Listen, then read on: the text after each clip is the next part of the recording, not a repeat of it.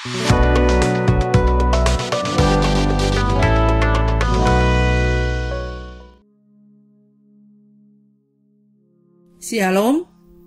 selamat pagi, saudara-saudara yang dikasihi Tuhan. Kembali kita bertemu lewat renungan harian Toraya, edisi Sabtu 26 Februari 2022. Namun sebelum kita membaca dan merenungkan firman Tuhan, mari terlebih dahulu kita berdoa. Bapa Sorgawi, terima kasih atas penyertaan-Mu sepanjang malam ini. Kami boleh lalui hingga pagi hari ini. Kami dibangunkan dengan tubuh yang penuh kekuatan baru dari Tuhan. Mengawali aktivitas kami hari ini Tuhan, kami akan bersama-sama membaca dan merenungkan firman-Mu. Kiranya melalui firman-Mu ini Tuhan, boleh menuntun menolong kami dalam menjalani kehidupan kami hari ini dan seterusnya.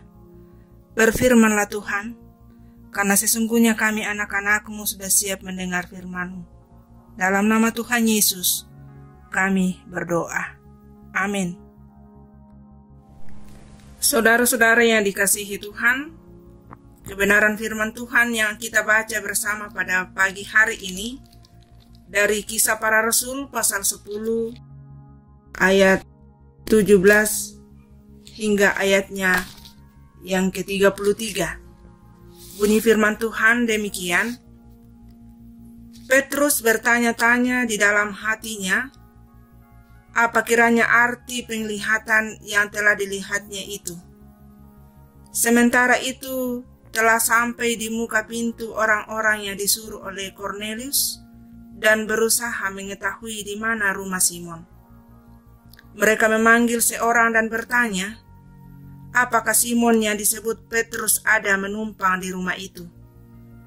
Dan ketika Petrus sedang berpikir tentang penglihatan itu, berkatalah roh, ada tiga orang mencari engkau. Bangunlah, turunlah ke bawah dan berangkatlah bersama-sama dengan mereka. Jangan bimbang, sebab aku yang menyuruh mereka kemari Lalu turunlah Petrus ke bawah dan berkata kepada orang-orang itu, Akulah yang kamu cari. Apakah maksud kedatangan kamu? Jawab mereka, Cornelius seorang perwira yang tulus hati dan takut akan Allah dan yang terkenal baik di antara seluruh bangsa Yahudi, telah menerima penyataan Allah dengan perantaraan seorang malaikat kudus supaya ia mengundang engkau ke rumahnya dan mendengar apa yang akan kau katakan. Ia mempersilahkan mereka untuk bermalam di situ. Keesokan harinya ia bangun dan berangkat bersama-sama dengan mereka, dan beberapa saudara dari Yope menyertai dia. Dan pada hari berikutnya sampailah mereka di Kaisarea, Cornelius sedang menantikan mereka dan ia telah memanggil sanak saudaranya dan sahabat-sahabatnya berkumpul. Ketika Petrus masuk, datanglah Cornelius menyambutnya dan sambil tersungkur di depan kakinya, ia menyembah Petrus.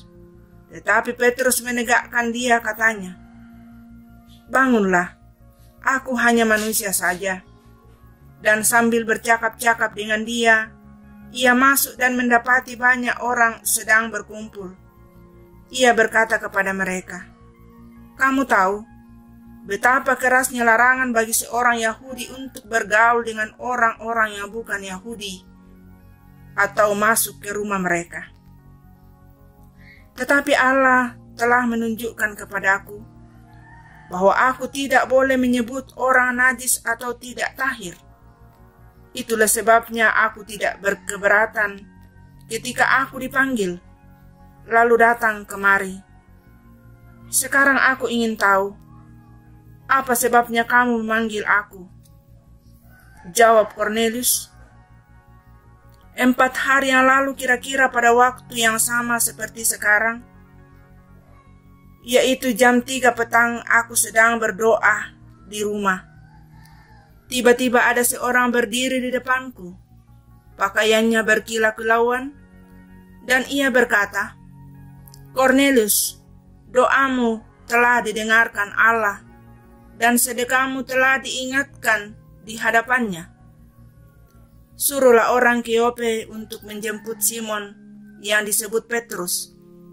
Ia sedang menumpang di rumah Simon, seorang penyamat kulit yang tinggal di tepi laut. Karena itu, segera kusuruh orang kepadamu, dan dengan senang hati engkau telah datang. Sekarang kami semua sudah hadir di sini di hadapan Allah untuk mendengarkan apa yang ditugaskan Allah kepadamu. Amin. Nah, saudara-saudara yang dikasihi Tuhan, dari pembacaan kita pagi hari ini, dalam renungan harian Toraya diberi sebuah tema, Tuhan bagi semua puangna mintu tau. Saudara-saudara yang dikasihi Tuhan, kata Injil atau kabar baik sangat erat dengan perdamaian. Ada dua pihak yang dulu berjauhan atau bermusuhan, sekarang diperdamaikan. Nah, konsep semacam ini memang tidak keliru. Hanya saja, pengertiannya sering kali terlalu dibatasi pada relasi secara vertikal. Melalui penebusan Kristus, Allah mendamaikan orang berdosa dengan dirinya sendiri. Nah melalui teks kisah para rasul 10 ayat 17 hingga 33 bacaan kita pagi hari ini menceritakan salah satu contoh konkret bagaimana Allah memakai Injil untuk memulihkan relasi horizontal antara bangsa Yahudi dan bangsa lain. Secara lebih khusus, bahwa bagaimana Petrus dan rombongan bersunat yang menyertai dia didekatkan dan dilekatkan ke dalam persekutuan dengan Cornelius dan seluruh kerabatnya bukan dari etnis Yahudi. Saudara-saudara yang dikasihi Tuhan, keselamatan dari Allah melalui Injil juga turun atas keluarga besar Cornelius dari sisi pergerakan Injil secara keseluruhan di kisah para rasul dimulai dari Yerusalem, Yudea dan Samaria sampai ke ujung bumi. Kisah pertobatan Cornelius memegang peranan yang sangat penting dalam rangkaian pemberitaan Injil itu.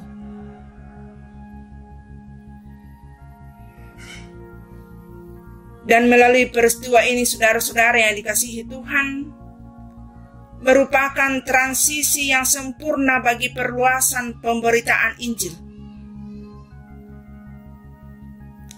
Petrus menyadari bahwa Allah telah meruntuhkan tembok pemisah antara Yahudi dan bukan Yahudi dalam ayat 28 pembacaan kita. Sebab keselamatannya dianugerahkan Allah adalah untuk semua bangsa. Karena itu saudara-saudara yang dikasihi Tuhan, sejatinya bahwa pemberitaan Injil adalah keluar dari kita. Kita yang adalah orang-orang percaya atau gereja, bertanggung jawab untuk terus memberitakan Injil lebih luas lagi kepada setiap semua orang. Pemberitaan Injil menuju pada visi.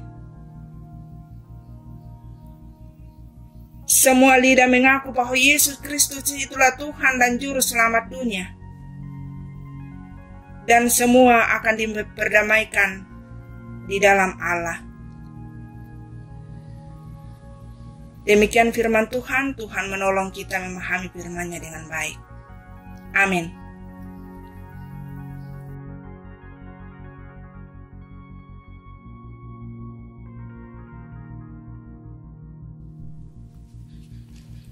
Mari bersama-sama kita kembali berdoa. Kita berdoa. Terima kasih Tuhan atas firman-Mu yang kami dengarkan pagi hari ini. Kiranya dalam kuasa hikmat dan rohmu, menolong kami untuk melakukan firmanmu itu dalam kehidupan kami. Hari ini Tuhan, kami berdoa buat pandemi yang saat ini masih ada. Kiranya Tuhan yang tetap senantiasa menolong kami, memberikan hikmatmu untuk saling menjaga satu dengan yang lain, dan menjaga kesehatan kami dengan sebaik-baiknya untuk mentaati setiap peraturan-peraturan yang ada saat ini, sehingga dengan ketaatan kami kepadamu Tuhan, bahkan taat kepada protokol kesehatan, kami percaya, kami yakin pandemi ini akan berlalu sesuai dengan yang Tuhan kehendaki. Kami berdoa buat saudara-saudara kami yang saat ini dalam kelemahan tubuh. Tuhan kiranya sembuhkan, yang berduka cita Tuhan hiburkan. Sehingga dalam perjalanan kehidupan kami Tuhan, kami tetap senantiasa berpengharapan kepadamu dan menguatkan iman kami untuk tetap senantiasa dituntun oleh kuasa rohmu yang kudus, agar kami selalu dengan rendah hati menyerahkan hidup kami seutuhnya hanya ke dalam tangan kuasa Tuhan Apa pun bentuk pekerjaan, rencana, dan usaha yang dilakukan umat-umatmu, Tuhan tolong sertai senantiasa. Ini doa kami Tuhan. Ampuni segala dosa kesalahan kami, serta Tuhan menolong kami dalam setiap pelayanan-pelayanan yang kami angkat kepadamu. Terima doa kami, yang kami bawa dalam nama Tuhan Yesus kami berdoa dan mengucap syukur. Amin. Demikian renungan harian kita pada hari ini. Selamat beraktivitas. Tuhan Yesus memberkati.